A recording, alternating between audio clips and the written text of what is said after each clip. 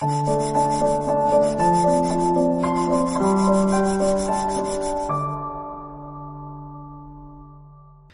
年底，中保研公布了大众帕萨特的碰撞成绩，一下让帕萨特从神车的位置跌落神坛。而随着时间的推移，该事件也在持续的发酵。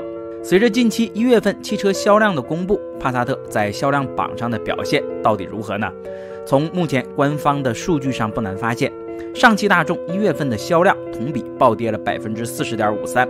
而去年十二月份排在第八名、销量超过二点六万辆的上汽大众帕萨特，在今年一月份的销量排行榜上已经跌出了前十五。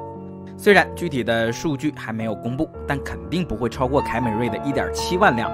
这个成绩固然有受到国内疫情的影响，但中保研的碰撞测试绝对对消费者产生了巨大的影响。